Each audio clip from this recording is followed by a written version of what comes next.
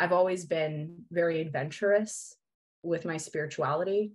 And that's what also eventually led me to devote myself to, to Satan ritualistically, which I did when I was about 25 is when I did what I would call a formal ritual of selling my soul to Satan. Now, of course, that is controversial in uh, uh, you know many people's eyes of of what you want to call that. But I I wanted to do something that would symbolically represent that, where I would be giving every aspect of myself to Satan to see what would happen.